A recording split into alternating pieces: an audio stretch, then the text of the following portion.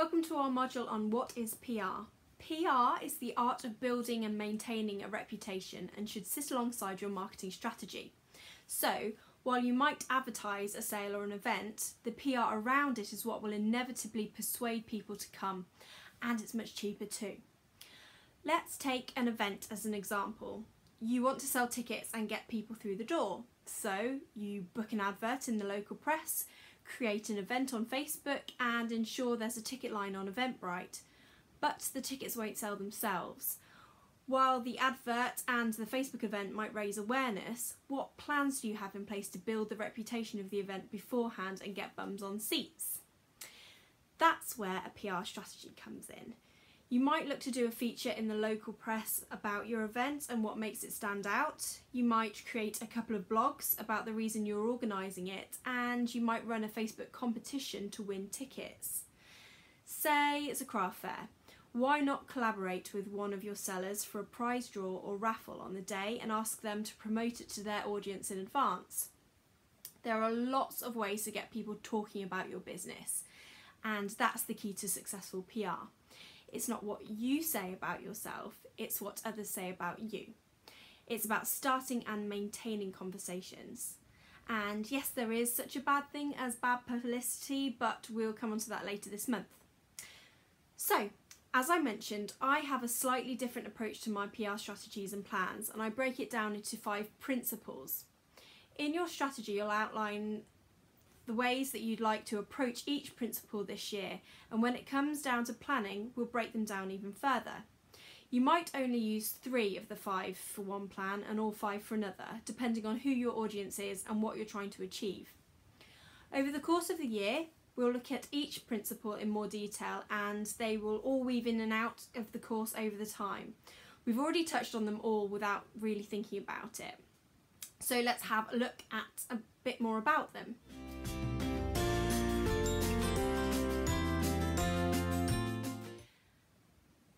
Traditional PR, I mean working with news outlets such as newspapers and magazines to build your reputation. It might be through listings, features, news or reviews, but usually means targeting a slightly older or middle class market, especially if you're working with the locals.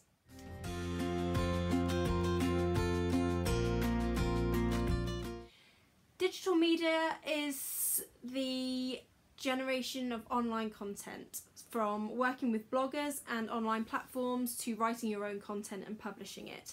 Having a blog on your website is a great way of generating your own content as you're in control of what's published. And this is where PR and SEO cross over.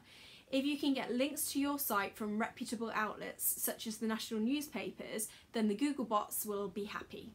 And if you regularly update your website with blogs or by tweaking the content slightly, the Google bots will be happy.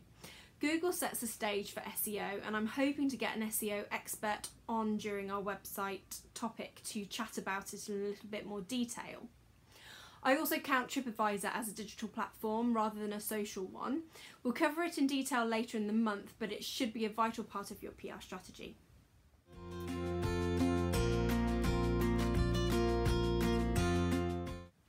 We've got a whole month of social media PR coming up, but it's really important that you at least have accounts on each platform, even if you don't use them, just so you can monitor your reputation.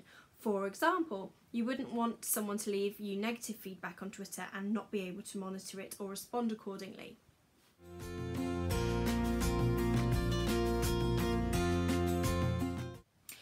Visitor experience is where tourism PR starts to deviate from other types, but it should be a big part of your PR strategy.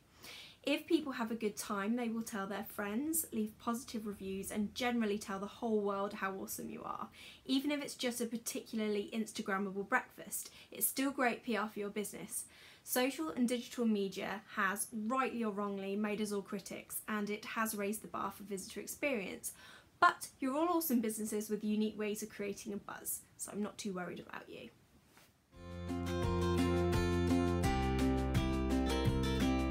Collaborations come in many shapes and sizes. They can either mean working with a blogger on a series of posts about your business, working with another local business to create a package, or even with a professional service such as me or a photographer. Basically, it means working with and supporting another business so that you're reaching their audience as well as your own. Which is why it's important to think about who you collaborate with. For example, you wouldn't collaborate with a fashion blogger if you want to reach a middle class older market, but you might collaborate with a travel blogger or a family blogger whose demographics complement your audience. Or why not collaborate with a local pub or cafe to offer a discount to each other's businesses, such as 10% off using code XYZ. If you're a cafe, find a B&B or a campsite to collaborate with. There are lots of options. Which brings me to the end of this intro, but keep reading for this month's task.